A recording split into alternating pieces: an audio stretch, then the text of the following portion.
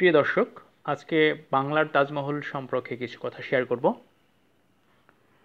বিশ্বের প্রাচীন সপ্তাচার্য আগ্রার তাজমহলের আদলে নারায়ণগঞ্জ জেলার সোনারগাঁ উপজেলার পেরাব গ্রামে নির্মিত হয়েছে অনুমম শৈলীর স্থাপত্যে বিশ্বের দ্বিতীয় বাংলার তাজমহল। ঢাকা থেকে এর দূরত্ব বিশ থেকে পঁচিশ কিলোমিটারের মতো। তাজমহলের মূল ভবন স্বচ্ছ ও দামি পাথরে মোড়ানো।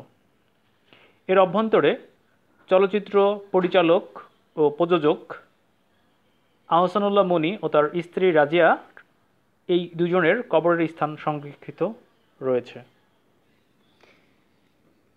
কীভাবে যাবেন এই বাংলার তাজমহলে?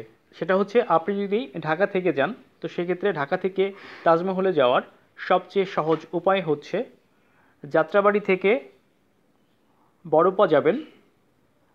পাবলিক লেগুনা রয়েছে, পাবলিক লেগুনার মাধ্যমে এবং বড়পা থেকে সরাসরি চলে যেতে পারবেন বাংলার তাজমহলে। সেই ক্ষেত্রে আপনার ভাড়া পড়বে যাত্রাবাড়ি থেকে বড়পা, বিশ টাকা এবং বড়পা থেকে বাংলার তাজমহলে বিশ টাকা, সর্বোচ্চ চল্লিশ টাকা। এবং সময় লাগতে পারে তিরিশ থেকে চল্লিশ মিনিট। যদি রাস্তা ফাঁকা থাকে দ্যাট মিন্স জ্যাম না থাকে অন দ্য আদার হ্যান্ড আপনি যদি ব্যক্তিগত গাড়িতে করে যান, সেক্ষেত্রেও আপনি যাত্রাবাড়ি থেকে বড়পা হয়ে সরাসরি চলে যেতে পারেন বাংলার তাজমহলে। সেক্ষেত্রেও সময় লাগতে পারে তিরিশ থেকে চল্লিশ মিনিট। অবশ্য গুলিস্তান থেকে স্বদেশ পরিবহনে করে মদনপুর বাস স্ট্যান্ডে নেমে সেখান থেকেও যেতে পারেন বাংলার তাজমহলে। তো সেই ক্ষেত্রে আপনি একটু হ্যাসেলে পড়তে পারেন। সেটা হচ্ছে মদনপুর থেকে সরাসরি বাংলার তাজমহলে যাওয়ার জন্য সরাসরি কোনো মানে পরিবহন নেই।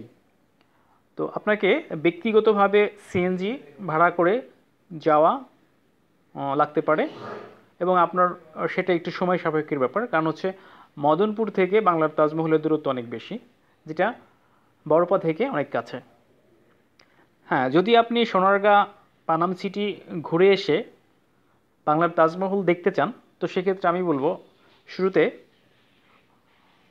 স্বদেশ পরিবহনেই নামবেন হচ্ছে মুগরাপাড়া। মুগরাপাড়া থেকে চলে যাবেন পানাম সিটি। পানাম সিটি থেকে সোনারগাঁ এবং সোনারগাঁ থেকে বাংলার তাজমহল বাংলার তাজমহল থেকে প্রামিট। যদি এইভাবে আপনি আপনার ট্যুরটা সম্পন্ন করেন, তো সেক্ষেত্রে একদিনেই এই চারটা সুন্দর স্পট দেখে এবং শেষ করে এবং এনজয় করে আপনি একটি দিন অতিবাহিত করতে পারবেন। তো ধন্যবাদ। আজকের মতো এখানে শেষ করছি। আপনারা সকলে ভালো থাকবেন। আল্লাহ হাফেজ।